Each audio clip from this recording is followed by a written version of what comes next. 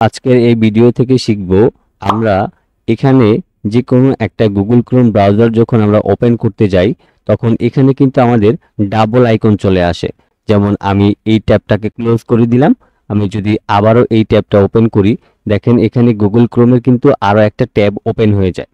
তো এই যে সমস্যাটা, এই সমস্যাটা যাদের রয়েছে, তারা মাত্র এক মিনিটেই কিন্তু সমস্যাটা সমাধান করতে পারবেন। তো চলুন আমরা বিষয়টা জেনে নিই। তো প্রথমেই হচ্ছে আপনাকে যে কাজটা করতে হবে, আপনি যখন মাউসের লেফট বাটনটা এখানে ক্লিক করবেন ক্লিক করলে এখানে কিন্তু একটা আমাদের নতুন ট্যাব ওপেন হয়। তো এখন কি করতে হবে, আপনার যে প্রথম যে গুগল ক্রোম সফটওয়্যারটা আছে, এটাকে আপনি রাইট বাটন ক্লিক করবেন ক্লিক করার পর আনপিন ফ্রম টেক্সট বার এটা ক্লিক করবেন। এরপর আপনি যে কাজটা করবেন, এখানে আবারও রাইট রাইট বাটন ক্লিক করবেন। রাইট বাটন ক্লিক করার পর আপনি এখান থেকে পিন টু টাস্ক বার করে দিবেন।